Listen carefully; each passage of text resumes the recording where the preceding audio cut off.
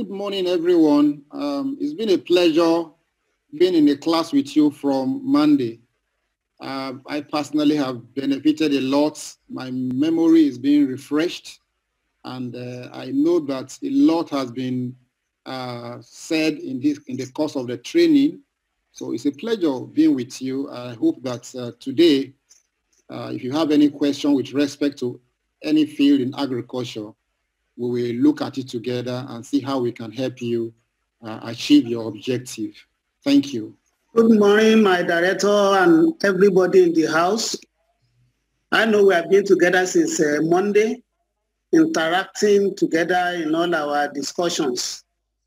So I'm here this morning to see if there is any other way by which we can help you to clarify issues in the area of uh, market research, in the area of monitoring, in the area of mentoring, in the area of uh, uh, your market access, so as for us to clear all doubts before we round off for the day. I hope to enjoy you as we continue in the discussion. Thank you. Good morning, everyone. I'm really glad to be here in this session. Uh, I'm happy we are all connected and feeling each other, seeing each other, hearing each other. Uh, it's glad to know that we are making progress uh, using technology. And um, a warm welcome from us, and I hope to contribute in any little way I can to help to answer some questions or make clarifications you might require. So thank you once again. A very good morning. Share your experience because we are an academic and at the same time having a fish farm, I really want to find out how you started, what gets you into it in the area of finance, how did you manage it and what has been your experience in the area of uh, fish farming, starting from the uh, the start stage to the level you are now. Can you please share your experience? Yeah. Oh, thank you very much. Um, my dream in the world of uh, fisheries actually started when I got the inspiration that um, there is coin in the mouth of the fish. That was my inspiration, that there is coin in the mouth of the fish. But that was why I even personally went to read uh, fisheries, you know, at the master's level. I actually did agri-economics and extension in my first degree. So that inspiration, you know, drove me to read my master's. And after my master's, I decided to pursue that dream. In fact, my vision, which I'm still nursing, is to make a fish available to every household, minimum of 6 million per day. So I'm looking forward to fulfilling that dream. However, you know, I had to look at, I have to first get the theoretical aspect of the uh, the industry, the knowledge. So I make sure that I have the knowledge base which is required to pursue that dream. So when I was in the at my master's level, I was looking at the practical aspect of these fisheries. I want to learn everything, get all the scope. And that is what is important from the beginning. You need to have the knowledge of the industry you are going into. You cannot assume, you know, you cannot assume, you cannot be mediocre in any industry you are going into. You just need to have the knowledge base. So I had the knowledge base and I also had the practical. And so as soon as I finished my master's, I had to you know, personally go and look for a land that I can afford. Okay? I did I think because you know there are three dimensions in fisheries. You can either go for alpine pond, the concrete tank, or probably the recirculatory system. I did not go for the high tech. Okay? I went for the one I can afford, the one I can actually you know, work with. So I went for the Alpine Pond. I located, you know, a place, a riverside, and I personally built my pond. Okay. And of course, I have friends. That's one thing again, like we've been taught in this program. I was able to connect with other fish farmers who can help me establish. Some of them gave me fingerling for free to start with. Some of them came and say, oh, we can, you know, partner with you, you know, to supply uh, feed to you. You know, so I went for partners in this business from the word go. So having gotten my land, you know, uh, I also got my pond. At first, I built, you know, uh, three arting pond. Because of my knowledge base, I was able to channel the river into the pond. And I, I we call it flow through system. I channel the river into the pond and I channel the waste water outside the pond. So I was able to build that pond properly. Remember I said I connected with other stakeholders, those who can give me feed, those who can give me fingerlings and juveniles. So when I, of course, one thing I also did, which I will also encourage us to do, is that as soon as I started, I was able to connect to my markets at the same time. So I was working the end from the beginning. I took it a little bit, you know, step by step.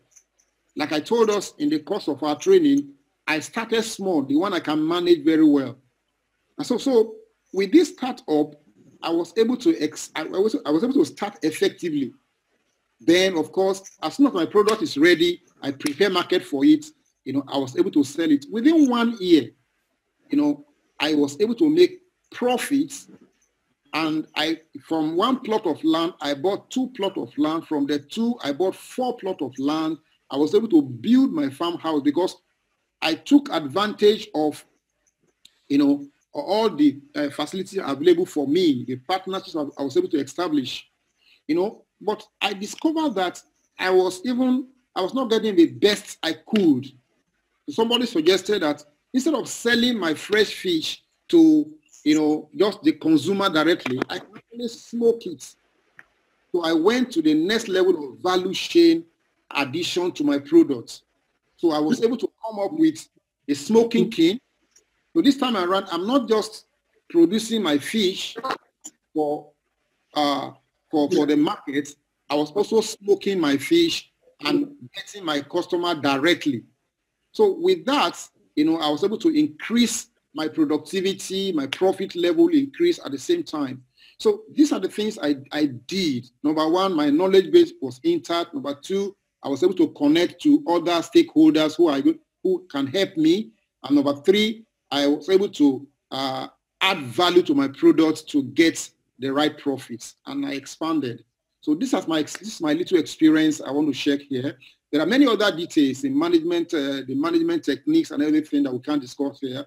Um, just yesterday, one of the participants called me, you know, and interacted with me, okay? And I gave him my phone number.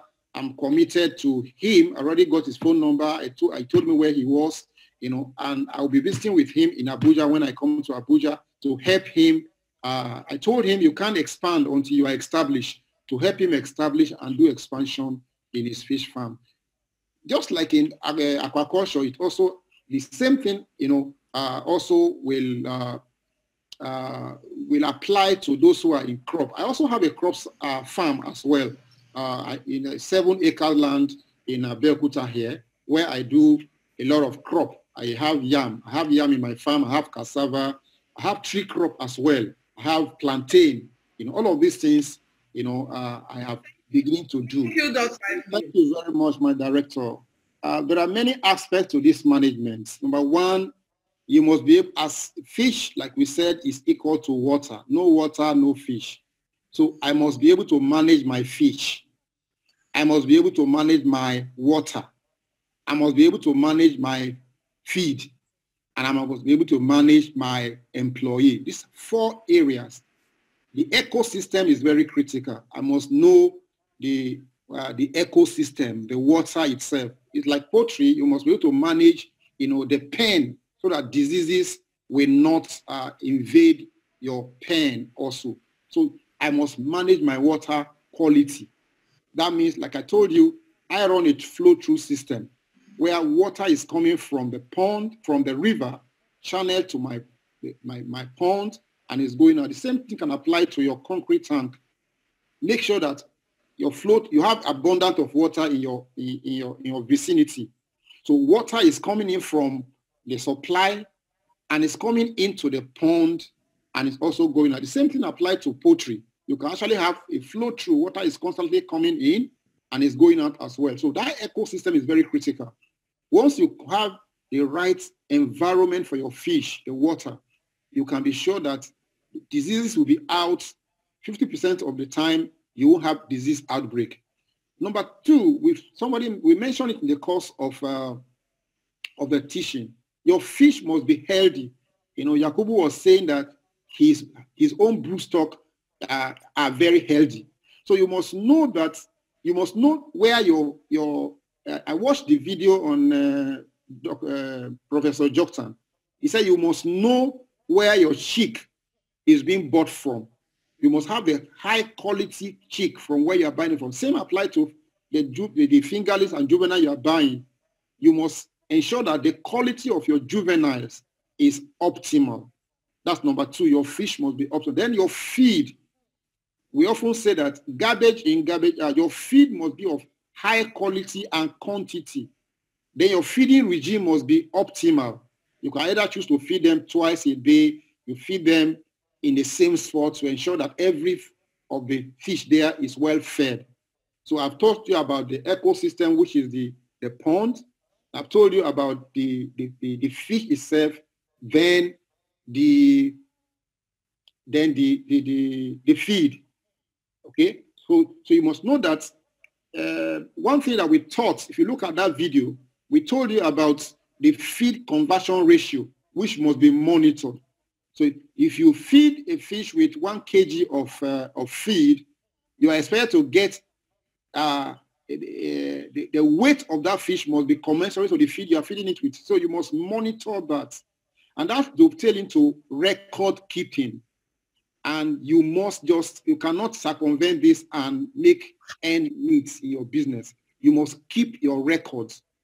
Record is critical. So that when we, when we see your record in first three months, we can better advise you whether you are going, you are doing the right thing or you are not doing the right thing, whether it's, time to sell the fish. The final thing that I would like to say is the marketing strategy. Okay, you can't wait until your for this until six months before you start selling your fish.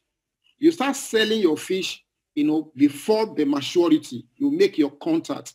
Like I was telling Omar yesterday that uh, I was asking him a question. I said, how many juvenile customer do you have in your record? He was tracking his brain. Say, I know them. I said, no, you don't know them. You don't have record of where they are farmed. You don't know how much you need per month. You don't know, you know, their farm and their productivity. So all of this that data must be in your in your file so that you can track their progress. You can know when they need it. So all of this management strategy must be in place so that you can make success of your business. Thank you. Uh, the next question we go to Dr. Pateye, please.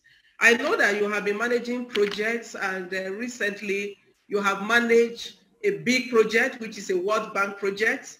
I want you to share your experience as it relates to monitoring and evaluation. Why are you saying that we must monitor our project, we must evaluate our project? If we don't, what do we stand to lose? Please, want your experience shared, sir. Uh, Dr. Pateye, please. Thank you very much for this particular question. And uh, when we are talking about monitoring and evaluation, it affects every area of our lives. Even at the family level, you monitor and you evaluate family activities, family projects, and also everything that relates to the program the family has actually set for itself. The same way as businessmen and women, you also need to have appropriate strategies that you can use to monitor the progress of your business. uh, particularly where my director was actually pointing me to concerning a World Bank project that I am the monitoring and evaluation officer. It is a project that is worldwide and therefore it has its purpose. It has its goal. I think the first thing thus far we have done in the project that make us to be ahead of other centers is that right away from the beginning, we have a workable proposal. There is no way you can go on with any project, whether business related, social related, technological related, educational related, that you just go to that particular project without know where you are going. Your proposal must be focused. Your proposal must get to the pivot of what you want the project to achieve at the end of the day. So we started that particular project by writing among uh, some committees that were set up to write a proposal for submission. So the same way now, because in that particular project will be sponsored by loan from the federal government of Nigeria. As you are seeking for loan from CBN NIRSAL now, and they ask you to bring up your business proposal.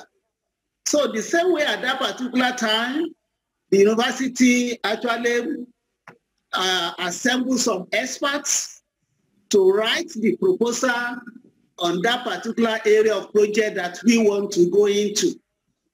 And it is that particular proposal that help us to win the approval of where we are today. So we have taken about two days focusing on your business proposal as by our director. Day before yesterday, and I mean this morning, yesterday, and so on. But you will want me to go back to look at every aspect of that particular proposal. Because at the end of the day, by the time you submit that particular proposal, that it will be scrutinized. You will also be called to come and defend it. So if there's a, any area in that particular proposal that is not in line, it will show, and that may not allow you to get the grant or the loan that you are looking for. So our proposal for this project sails through because we were able to identify the areas of the problem we want to solve. And your business must also have the areas of the problem that you want to solve. And after the proposal now has been accepted, what else do we need? We also need, in the proposal, they ask us to break all our activities to identify the areas we want to go into and to break each of the milestones to activities. And that was I was telling you day before yesterday that your business may actually go through if you don't have, you are not sure of what, where you are going. Your milestones must be clear. And you set this milestone based on periodic basis you must specify the time to achieve those milestones. World Bank will not give you any loan without seeing specifically tangible things that you want to bring out from that particular project you want to carry on. And they will want to monitor your progress. They want to see how many that what you want to do and the time you have told them that you are going to achieve it, they will monitor you, whether you are achieving it. And at the end of the day, they'll be able to say whether you are performing or not performing. So the same way, as you are writing your proposal, you must ensure that you set your milestones. If you are written in the proposal that you want to actually uh, produce like 2,000 beds, real 2,000 beds within 12 months. Uh, so, and you are put it there because you have calculated the rate. If I sell, your income has been calculated in the proposal. At the end of the day, they want to know how many beds were you able to produce at the end of the day within that particular time. So it is very important for you to note that your milestones are achievable. Please check through your business plan and ensure that everything that you are put into the business plan can be monitored and they are achievable. Another thing is that in this particular project that we are into, we have business partners. We have partners that were invited from the uh, professional lives. And these particular partners, they have their own contributions to the project. And they want to know who are our partners. What are their contributions? How are they going to help the project to grow so that the goal of the project will be achieved? So the same way in your own business, you need your team. Who are this particular team and who are the partners you are going to relate with? In selecting your team, there are so many criteria you need to put in place. Maybe you are going into farming. Those that will help you to drive your farm in the related area, maybe in animal husbandry or in uh, agro, do they have the knowledge of what you want to do? Like now in our project, we are trying to reshuffle and to restructure to enable us to have professionals that will drive the activities of the project. Then your partners, that you, if you know that you alone cannot actually, you don't have the requisite knowledge and skill, and you want to bring in a partner, what is the contribution of that particular partner to that business? And you must have your um, memorandum of understanding well spelled out for you to relate with these particular partners. Then the last thing I want to say before we actually round up is that in your market, you need to expand your market through, I mean, beyond the border of where you are situated. You have, in your business proposal, you have told them this, how you are going to get your income and the kind of market that you want to go into. But in that particular market, will the existing markets that you are looking at now be able to allow you to achieve at the end of the day? So you must also identify the market and make research to go into other places to make yourself accessible to your customers and the end user that will actually benefit from your service or from your product. And lastly, I want to say that as we discussed the other time, our the people that will help you from where you can gain experience. I thank uh, Mr. Abi, Dr. Awadumate, that one of you have contacted him so that he will be his mentor. So the same way as we discussed before, you must ensure that you have somebody that you are looking out for in case of challenges, in case of troubles, in case of problems, so as for you to be able to grow your business. So I just want to round up from here and see if you have any other question in these particular areas as we are going to general discussion. Thank you, Director. I want to direct the next question to Dr. Adeshino Adewale, the ICT experts, e-learning technologist, and everything you want to do with IT is there to guide us. Dr. Adeshino, there is a lot of worry out there. Right here, you have these people, they are here, they want to access loan from the bank, and They want to go into business to use this money.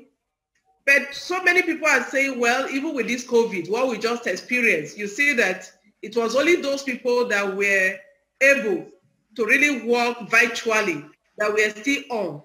Those people that could not work much virtually, their business was almost down there. But there is this fear of uh, insecurity.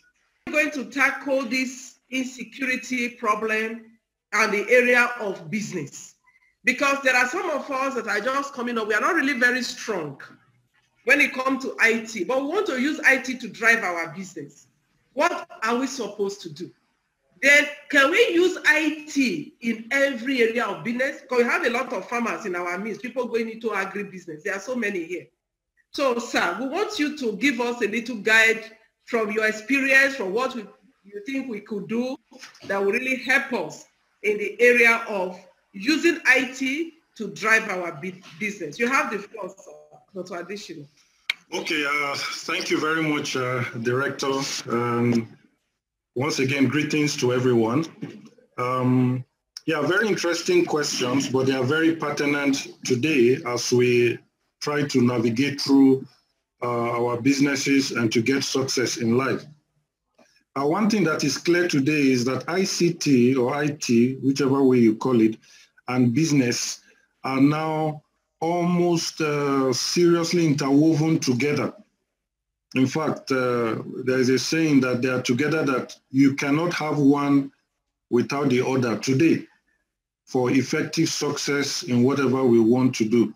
So ICT and businesses are now together. No aspect of business uh, that is not really uh, impacted by technology today. Whatever it is, you find out that technology does two basic things. Uh, it makes our work faster and it also makes our work better. Okay, and you can even add, it also increases the coverage of where our work or our businesses can reach, where you will be only limited to a few places. Uh, if you go down a little bit with technology, we can even uh, use, we can even reach more people. So coming down to the question to uh, what of if you don't have technology? Uh, will you be able to still do your business? Yes, of course. Of course, uh, businesses can still survive with technology. They are of different grades, different levels. Take, for instance, phone. The usual phone that we have, uh, there is a small phone that you can use just to communicate and send text messages. Okay, that's just one level, and it's technology. In fact, before the phone, if you were just uh, writing things down and sending by mail, uh, print, mail, uh, snail mail, that's what I mean, not email. It's, it's a simple form of technology, okay? So, but you go to a small phone, then you can go to even the, the smartphone that has more features. And of course, they are getting smarter and smarter by the day. You can even go higher to a phablet or a tablet and on and on. So yes, wherever you are, it's nice to start with the technology you can afford and you can use. But perhaps, in my opinion, what is more important is the mindset to be able to uh, move and to develop.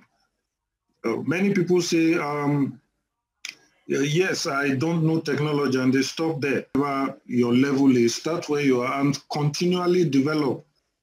Read books, uh, listening to YouTube. We tell people these days there is literally anything you want that you will not get uh, get information about it if you go to YouTube as as low as it is, I mean, as crazy as the idea you think you have is, just search it in YouTube. You'll probably find a video about it. You know, say you want to tie your shoelace, just go in and type how to tie my shoelace. So imagine you want to learn about, let's say, uh, computers, about ICT. Just type ICT inside YouTube. You are going to learn more. Let's say you want to learn about smartphones.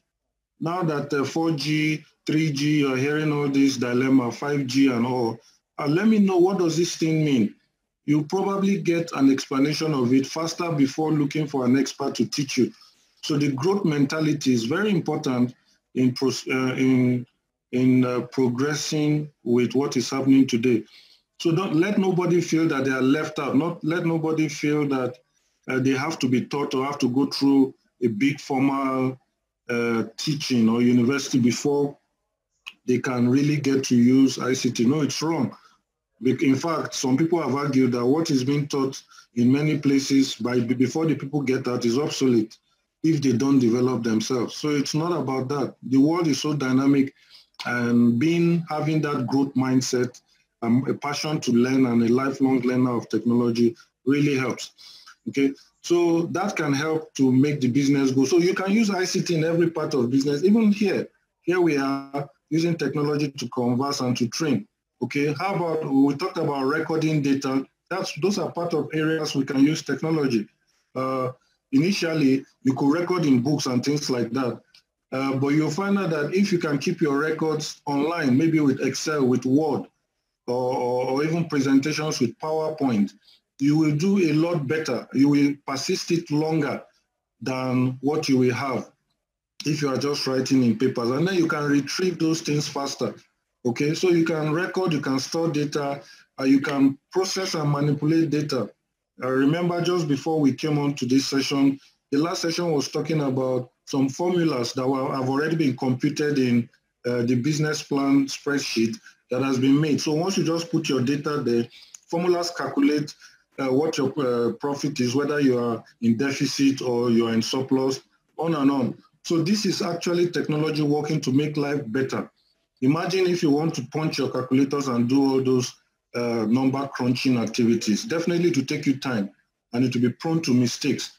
So technology eases that burden away from you and tries to make your work more accurate and better, uh, more presentable as well.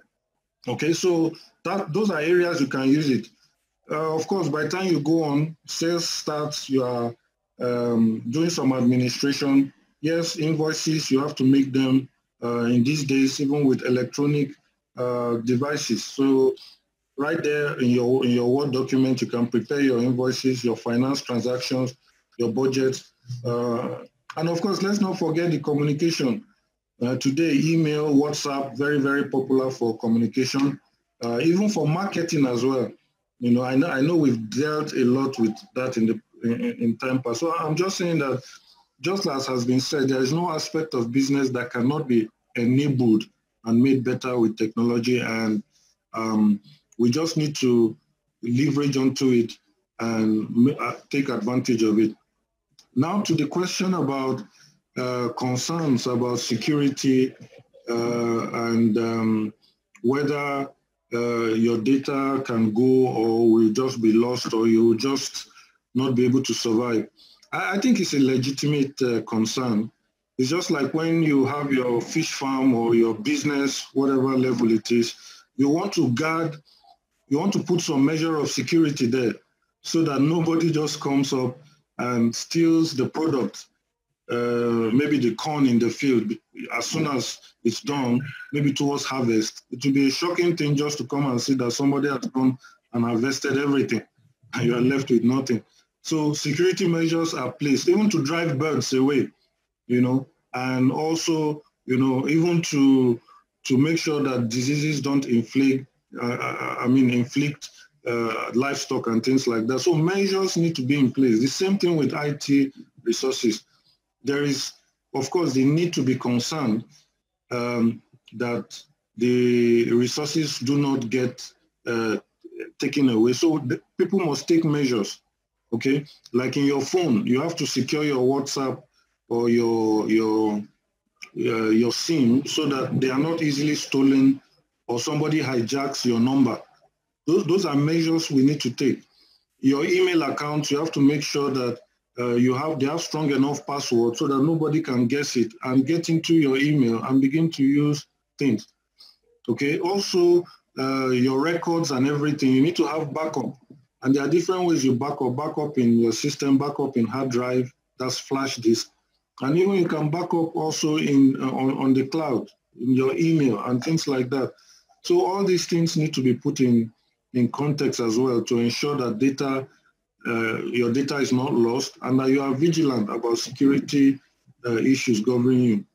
So yes, we should be concerned, but we should not let it overwhelm us uh, and say, okay, because accidents can happen, you will not even bother to enter a car again. No, of course, you will still, then you will not be able to go anywhere or you'll not be able to, you don't want to fly or things like that. There are risks. But again, when we take the right precautions, the benefit far outweigh um, uh, the risk. So I hope I've been able to uh, try at least stab at some of the questions that uh, you have asked.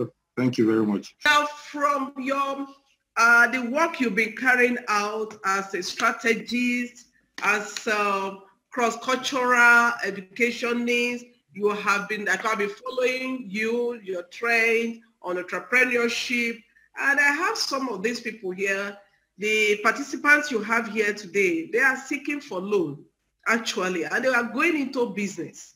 And some okay. of them, their interest is on international business, but they are here okay. in Nigeria I want you to okay. say from the experience you've gathered because you'll be working across representing different international uh, bodies here in Nigeria. At least I've seen you in so many of them and in other African countries. So with the experience you have gathered working at the international level across countries, across uh, institutions, across organizations, across bodies, I want you to just uh, share with us what you think for somebody who wants to go into an export business or you want to have an international business, what the person needs to put in place to be able to really flow well, especially now that the person is borrowing money and the person should be able to pay back and able to sustain the business. Over to you, Doctor. I've been, I've been speaking about this for the last several months because it's been a, a crucial issue that's actually in view. And it's the term the international professional or the, the global citizen, the global professional. And I think uh, the premise, maybe make, make it a, a, bit clearer, is the fact that if you restrict your space, you restrict your, your, your place. And I think appropriately speaking, um, there is something around resource mobilizations. When you think about funding, people looking for money, I think I think the first mistake the average person makes is the fact that when you think about funding and money, generally speaking, you think about it from a monetary perspective, so cash in the account. So maybe I'll use myself as an example so you can get a clearer picture. So in my job, I travel an awful lot. I cover over 30 countries in Africa. I'm always on the road because I advise different UK institutions around the Africa strategy. So last year, I did over 25 countries in my, in, in, in my work. The year before last, I did over 30 countries across Africa. And this has gone on for the last four, five years. Now, the real gist of the stories is, and I'm, I'm using this as an example to show you what I'm trying, trying to talk about when, I, when I'm trying to resource, is the fact that the last time I remember, follow me, paying for international flight accommodation, all of that with all my travels from my own pocket was five years ago. Why is that so? Because I've understood clearly that there is something bigger than just monetary cash to increase your business, which is why the term in use is resource mobilization. So basically, if you're trying to do something or achieve something, do you know somebody who can make it happen, even if you don't have the cash? So when people talk about international business or, or maybe looking for money, looking for funding, the first restriction is the fact that they are a Nigerian professional. That automatically limits their positioning. So what do I mean? We live in a global era where everything is interconnected. You see, and I think the basic thing is first and foremost, you need to increase the, your leverage on who you know. So your partnership leverage. So if you're a business person, whatever your field of expertise, the question I normally would ask is, do you know somebody in Gambia, in Ghana, in Ivory Coast, in Uganda, who is doing what you are doing? So every person, you need to find a way to, of increasing your professional network in a global scale. And the reason is because once you are understanding your network beyond just your geographical location or your your your your, if you like um, your your your specific uh, point of isolation where you are based, it does it, it opens you to opportunities that averagely speaking, most people won't have access to. So what do I mean? So now, if you look at my, it's a bit noisy. So, so basically, I'm, I'm talking about first and foremost finding a way to increase the knowledge of who is doing what you are doing in other countries. You need to increase your space because partnership leverage is absolutely crucial, especially in the era we now live. If I want to do a, a deal in Tanzania, and I do this in Tanzania, but I'm not Tanzanian. But because I've got partners in Tanzania, I am able to strike deals and increase my portfolio and profile in Tanzania. The same thing with Zambia, same thing with other countries. So the first line of action is everybody wanting to increase the international positioning should increase the international partnerships. And there's simple ways of doing this. If I ask the average professional, and I've done this and say, well, have you got a LinkedIn profile? Most of the people will say, yes, they do. And I've done a simple experiment. You compare the number of pages of your normal CV on your laptop. Some would have like five page CV. But if you go to the LinkedIn profile, it's about one or two pages. And for me, that makes no sense. How can the platform, the biggest professional platform in the world, through which you can increase your partnership leverage to become a true global professional, be two pages. And the one gathering dust on your laptop, which nobody sees, is five pages. How do you actually fail to broadcast your capacity in an era where there's global connectivity? That makes no sense. So simple things around increasing your partnership leverage, increasing your space, your point of interaction becomes absolutely crucial. And I, I must tell you, friends, if you because because of how much I travel, the issues in Nigeria are the same issues in Ghana, the same issues in Gambia, the same issues in Uganda. They might have peculiarities, but automatically, because you got a positioning in those countries, automatically you've increased your market. And so that impacts on how you put a proposal together, how you apply for funding. I'll give an example. Because of my positioning, okay, most of the time, I don't, I don't even have to apply for funding because people in many countries know what I do. I get requests coming through. So it's not only me making the move. People actually request for me and say, hey, doc, there's a deal on the table. There's funding available. Do you want to be a partner? And why do I say so? So going back to narrowing out to funding, I want to ask a simple question. If I ask somebody and say, I'm looking for funding, I'm looking for funding, and I ask, do you know who gives funding in the area of your expertise? I pass many people and they will tell me what they don't know. And the question is, how can you be looking for money and don't know who gives money.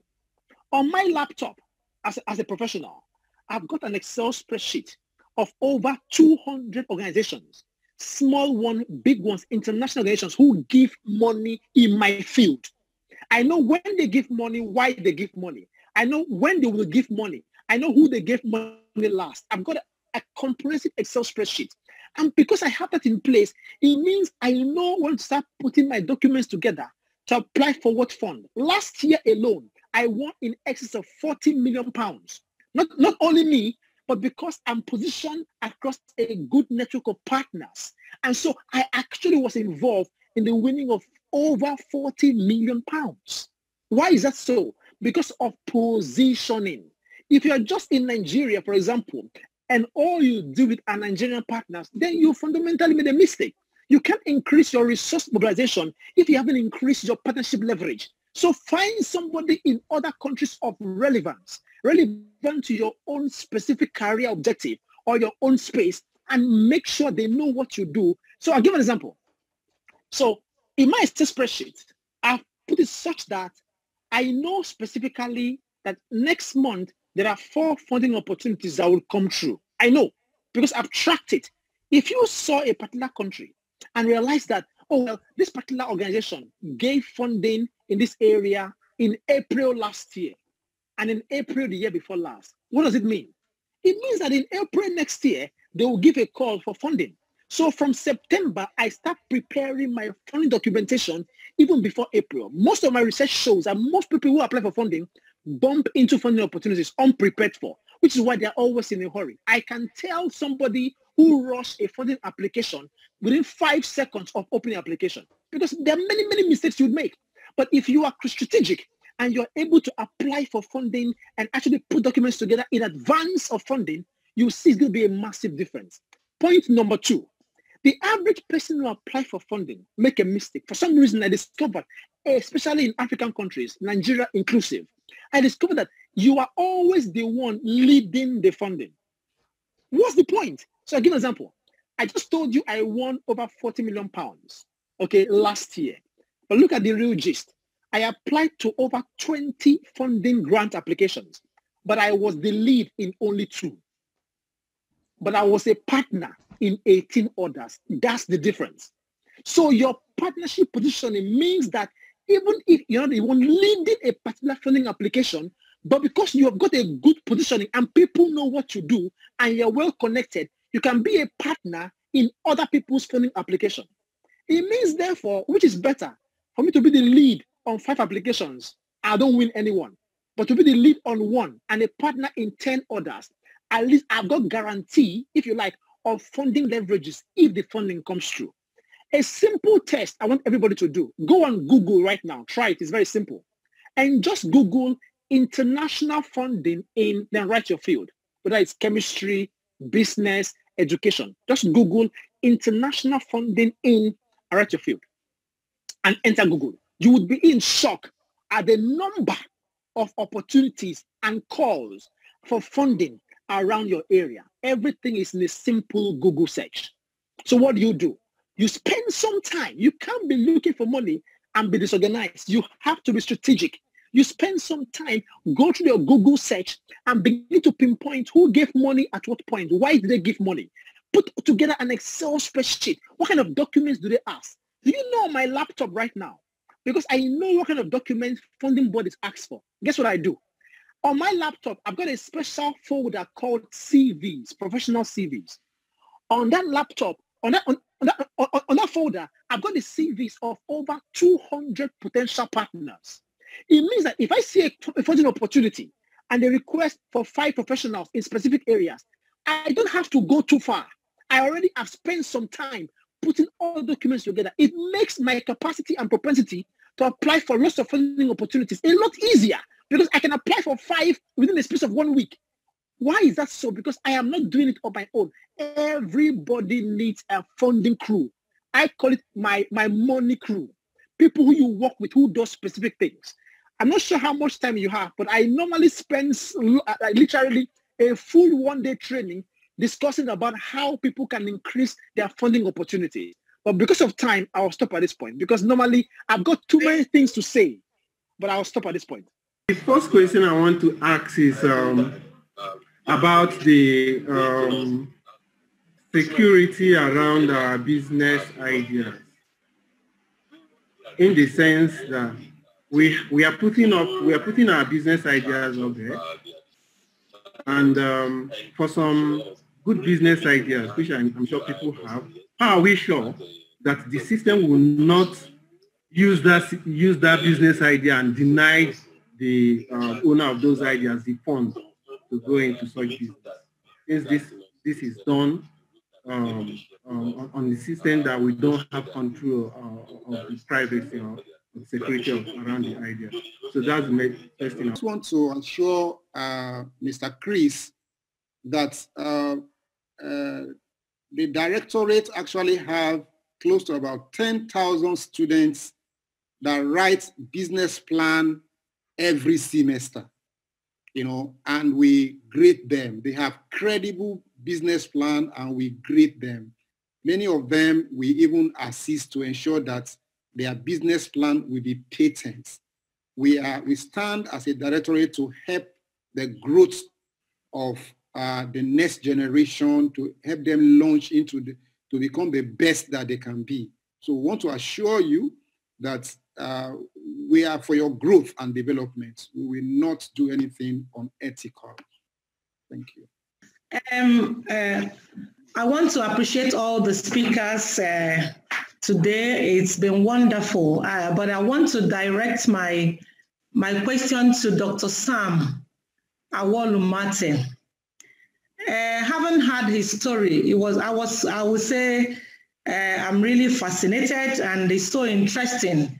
Uh, but I want to, and then the way he explained to us how he channel, he had to build his pond in a like maybe close to the river, and then he had to build it in such a way that the inlet and outlet and the water, everything was you know the natural way. It's really quite interesting.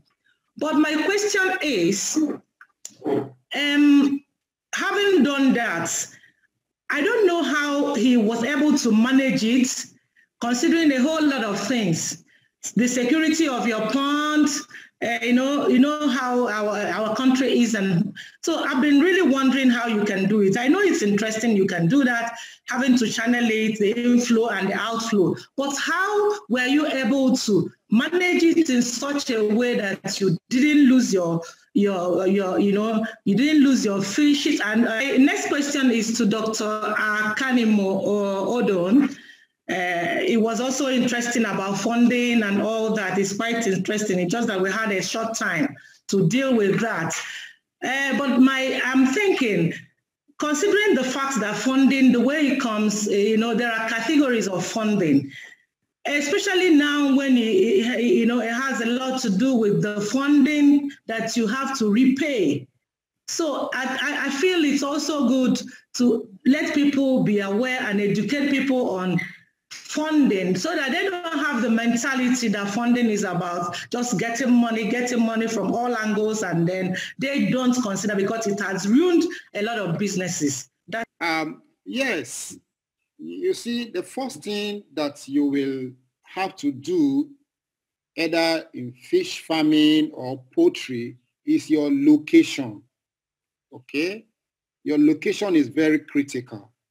Now, with respect to your question, I, you know, you have to be able to build the pond such that the topography of the land must be followed. So you don't build straight, you build this way, okay?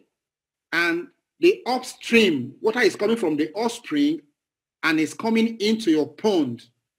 And because you built it you connect the pipe from the river underground.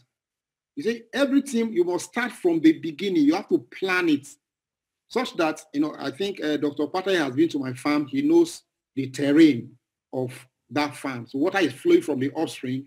I channel it into the pond and interconnect all the ponds, you know, by a pipe into it. Then I put my wire gauge at the mouth of the inlet I put my wire gauge at the mouth of the outlet so that no fish is going out. At the extreme end, I put a wire gauge. At the inside, I put a wire gauge. Nothing is going out, nothing is coming in. Now, you see, if you don't secure your pond internally, people can come and catch away your fish overnight.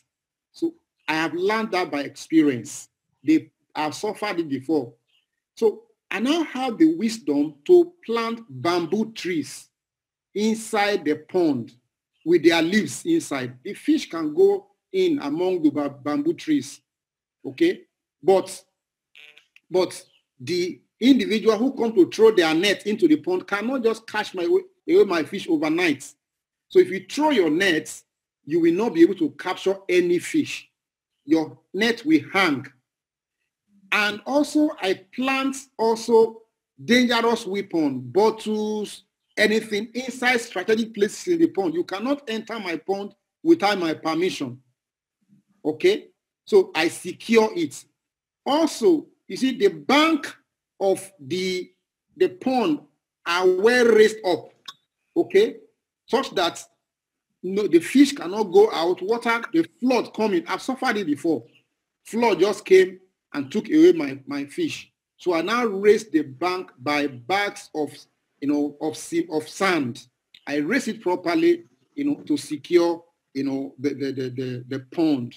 So that's how going to secure the pond from, uh, from the flood and from thieves who will come overnight to cash away my, my earthen pond fish. Now, note that I'm using earthen pond because I can, you know, cut down the cost of my, my, my feed I can use locally compounded feed.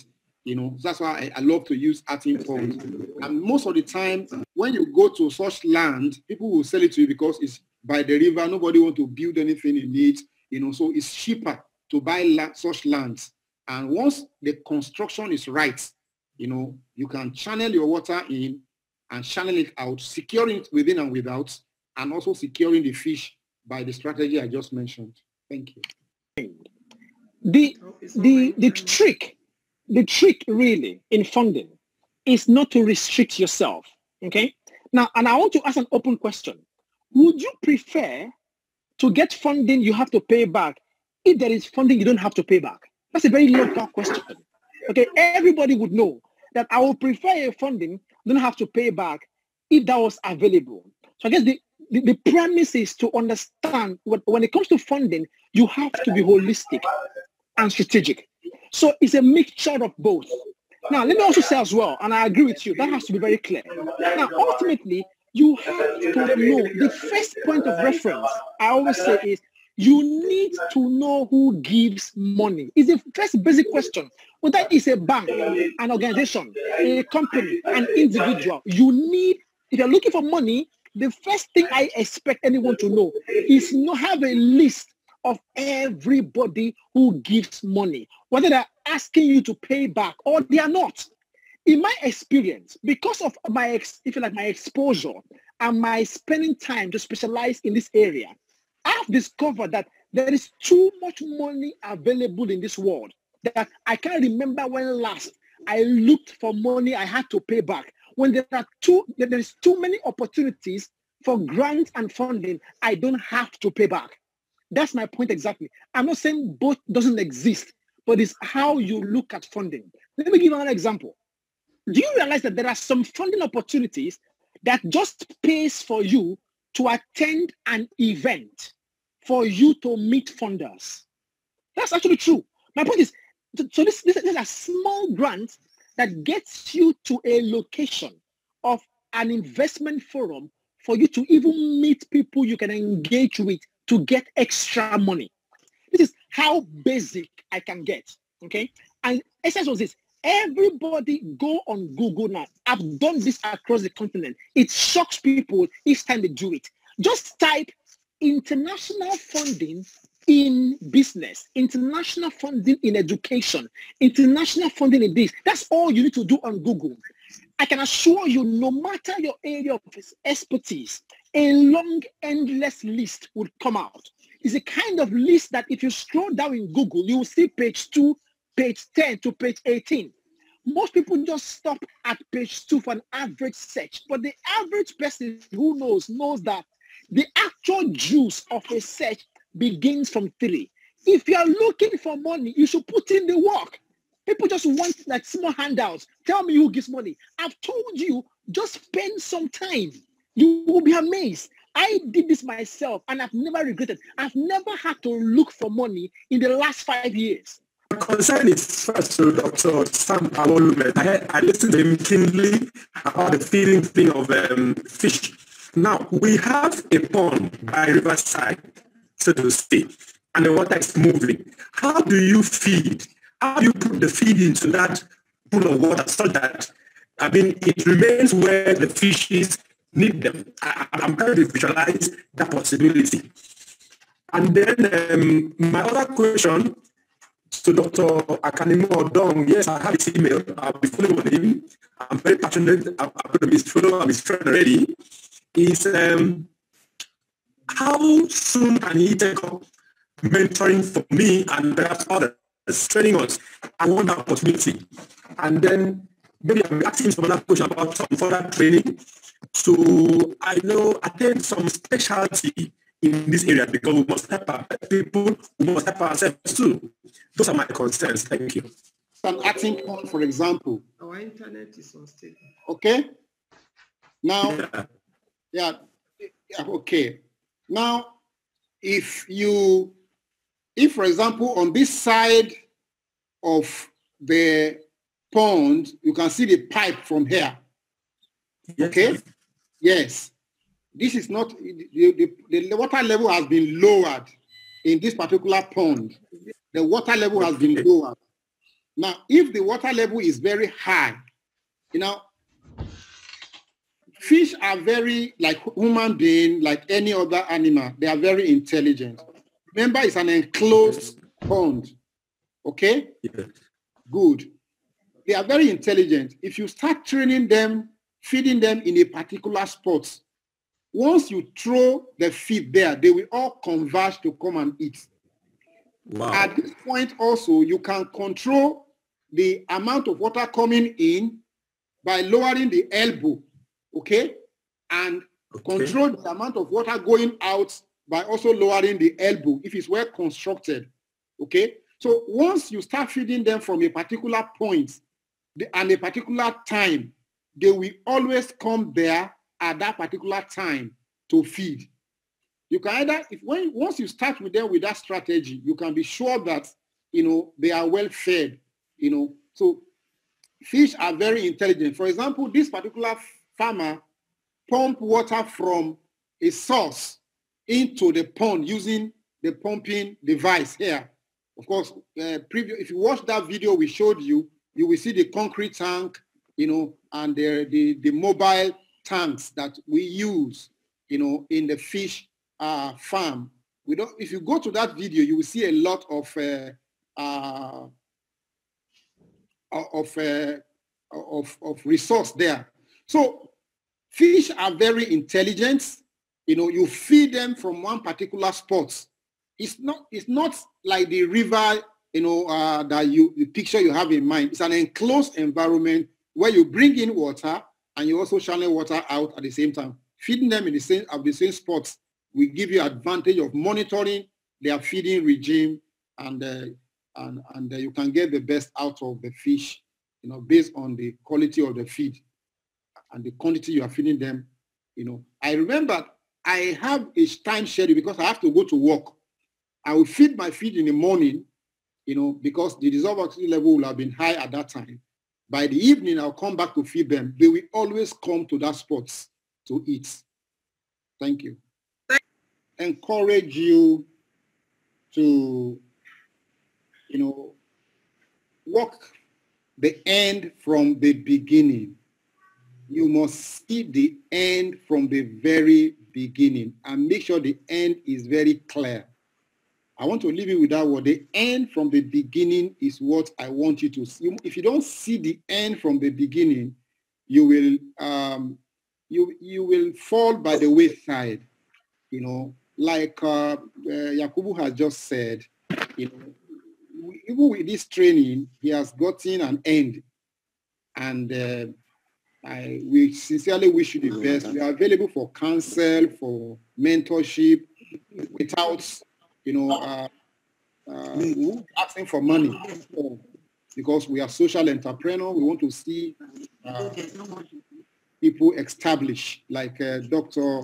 Odon has just said. There are many things you can get without paying money without, without paying for. We are available to help you establish and expand. Thank you. Encourage you to keep your vision, keep your vision, your business vision, follow your focus, and also don't quit. In spite of all challenges that you may face around your business execution, go forward and you can make it as a young as an entrepreneur. Thank you. Much uh, just to say, self-development or lifelong learning, it's a uh, key. So let's always engage in always improving ourselves personally and uh, continually. Then regarding uh, patents and copyrights, uh, if you have your very good idea or product that is very unique and you are concerned that it might be stolen, uh, perhaps it's time to think about copyright uh, or patenting your idea or product. Uh, so thank you very much. Everybody, from today, and it begins with your mind. There are 10 dimensions towards being an international professional. I only touched on one today. But the premise is that the very first and most important dimension is international outlook. It begins with your mind. Once your mind is clear that you're not just a Nigerian professional, you're an international professional, it affects every other thing you do. And I hope at some point, working with the, uh, I mean, with now, we can put together a series of other events to increase your internationalization capacity and potential in a world that is globally connected with so much resources. Thank you very much. It has been a wonderful time talking with all of you and the participants. I really thank you for the uh, cooperation, for the attention, and for your contribution. So at this time, I want to hand over to the moderator.